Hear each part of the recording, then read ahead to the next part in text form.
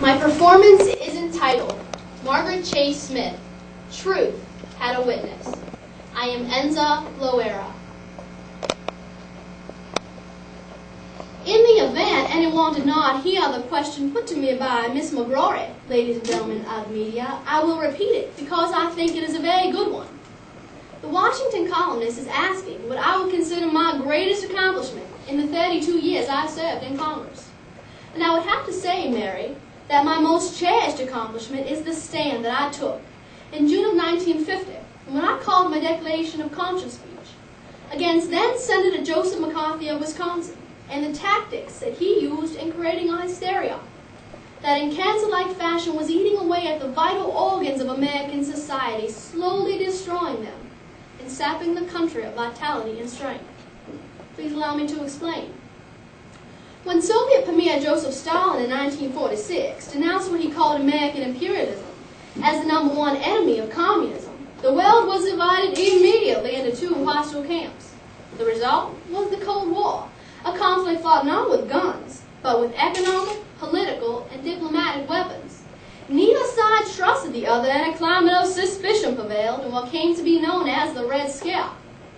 A sense of fear, indeed a panic, swept through much of the country that our way of life was being undermined, poisoned, sabotaged by communists.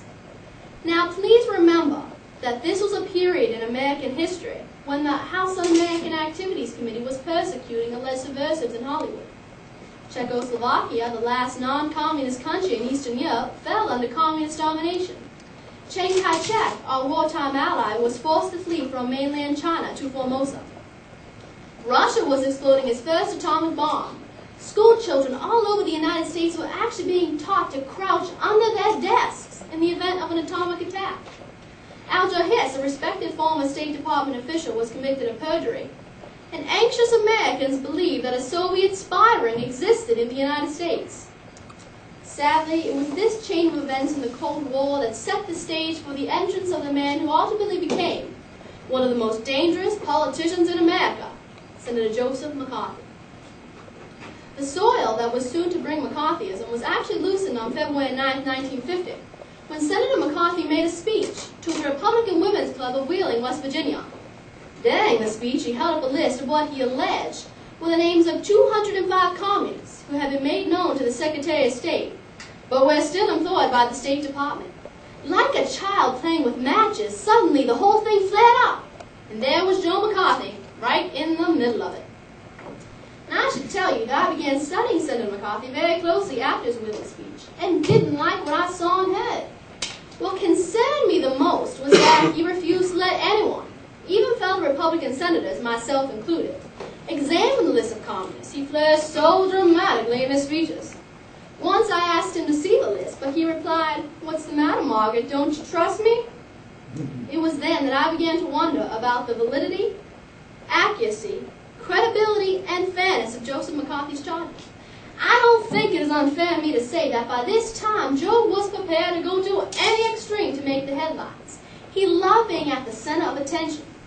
When he suddenly found himself in the limelight as a result of the reckless accusations he was making, he liked it so much and wanted to stay there so badly that he made more and more accusations with no evidence to back them up.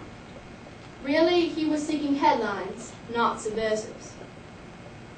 But in doing so, he was literally ruining the lives of those whom he labeled as communists. You have to understand that anyone targeted as a communist could face unrelenting harassment from the FBI, the loss of one's livelihood, one's home, one's friends, impoverishment, vilification in the press, physical attacks, and often imprisonment. Many people were even driven to take their own lives. Truly, Senator McCarthy was like a hit-and-run driver who left behind a trail of victims. Well, let me tell you that I began to lose all patience as Senator McCarthy's accusations increased, and there still wasn't a shred of proof. My impatience quickly escalated to a loathing of McCarthy's tactics, which in my opinion were irresponsible, deceitful, and reprehensible. My rage came to a boil in the late spring of 1950 as I sat at my desk in the Senate chamber and listened to Senator McCarthy smear the reputation of defenseless Americans, and then launch into a tirade at several Democratic senators who tried to stop him. It was then that I realized that someone had to speak out against this man who was becoming such a formidable political power. But in my heart, I knew that so many senators were afraid of Joseph McCarthy that no male member of the Senate was going to take a stand against him. It was clear to me that if I wanted to hear an indictment from the Republican side of the aisle, would have to come from my own lips. That weekend I wrote the speech I intended to give, fully cognizant of the political risks I would be taking by giving it. I knew all too well what can happen to anyone who bucks the most powerful men in his political party. There wasn't any doubt in my mind that giving the speech could result in a political suicide and ruin everything that I spent my whole life working for. But my conscience simply would not permit me to take any other course. It was a matter of principle, not political expediency. I knew that no one has a right to own our souls except God. From the time I was a child growing up in Maine, my parents had taught me the value of hard work, independence, and always to speak up for what is right. In the Declaration of Conscience speech itself, I made it perfectly clear that I spoke as a Republican, I spoke as a woman, I spoke as a United States Senator, I spoke as an American. I stated that I didn't want to see the Republican Party ride to political victory, what I referred to as the four horsemen of calumny fear, ignorance, bigotry, and smear. I warned the American people that what had come to be known as the silent generation was sick and tired of being afraid to stand up and speak their minds, lest they be labeled communists or fascists by their opponents, of seeing innocent people smeared and guilty people whitewashed. And I reminded my colleagues that the Constitution not only guarantees freedom of speech, but also trial by jury instead of trial by accusation. I concluded by reading the Declaration of Conscience signed by six other Republican senators and myself. How did Senator McCarthy react? Well, the next day he attempted to downplay my speech as nothing more than utter nonsense from Snow White and the Seven Dwarfs. but that was only the beginning of his vengefulness. When the next session of Congress met, McCarthy, the ranking Republican on the Senate Permanent Investigating Committee, ousted me from the committee and replaced me with the junior Republican senator from California, Richard Nixon. This contemptuous action on his part clearly violated all Senate custom, procedure, and tradition. Next, he began telling people that he was going to break me, politically, mentally, and financially, for daring to differ with him, for criticizing him publicly. And he really tried to in 1954 by persuading a friend of his from Maine to run against me in the Republican primary. He gave his friend a sweeping endorsement, but denounced me everywhere he could as a friend of communists and fellow travelers. However, I defeated McCarthy's candidate five to one.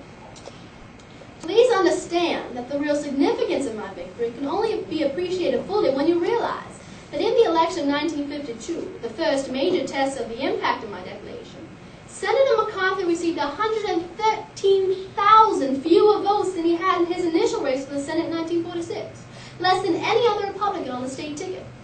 Furthermore, the candidates he endorsed were either defeated or trailed the ticket. Truly following my declaration of conscience speech, McCarthy hurt rather than help those candidates who me back.